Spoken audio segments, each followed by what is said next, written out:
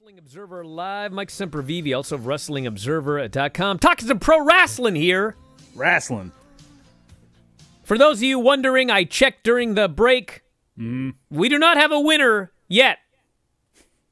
So let's talk about some more wrestling. That's not true, Bryan. A winner is the listener or the viewer of this particular I was expecting you to say here, a right winner is you, and I'm very disappointed that's not how I, I thought about doing that, but it's it's really it's everybody who voted and all of you loyal people that are here with us right now. I love you.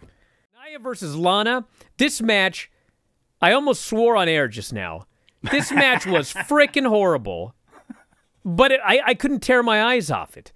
And mostly because of what we, I, I mean, I discuss this with Dave every week. Like, they think that Lana's getting a push. That's the idea behind this. There, she's getting a push.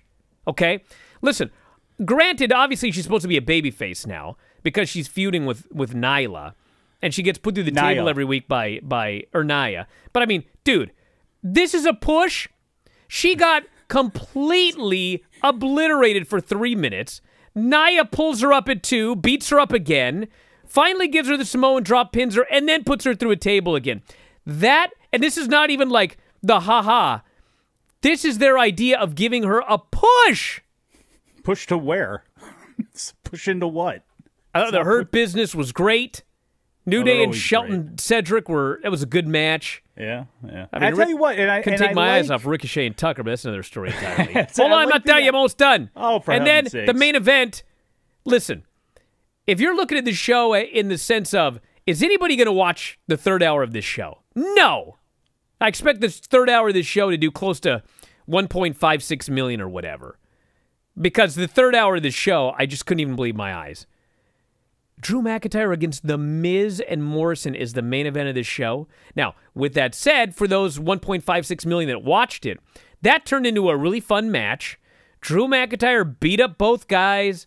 Of course, he he hit the claymore on uh, I don't even know who, probably Morrison because Morrison always has to lose. But anyway, I thought the match was was fun, and then they set up whatever they're going to do with Orton and Bray Wyatt and and uh, Drew McIntyre, which I suspect is not going to be any good because the Fiend is involved.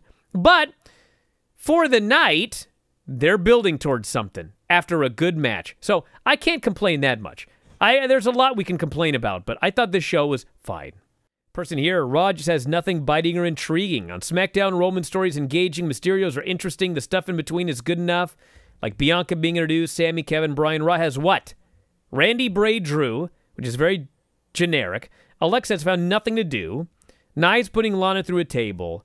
And AJ's new thing is, I have a big guy. Well, listen, I would not argue that SmackDown has been a lot better than Raw lately. I don't know what's up with this Alexa Bliss thing. I know they've got some cool idea. Oh, she's blah, blah, blah. She's got these cool contacts. That's like her whole gimmick now. She's got creepy contacts. Like, Geeks. that's, that's, Somebody's where we're getting at right on now? This cosplay. That that's yeah. Th- This is so dumb. It just.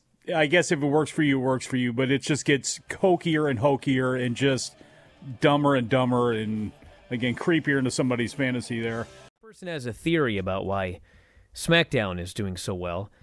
Says it's all about the background. SmackDown is bright, vibrant, blue, and inviting, not to mention the star power. Raw feels dim, dark, red, and gloomy, Apparently, Crip has called in. with only half the star power. It's uh nobody looks good in red or around the color of red.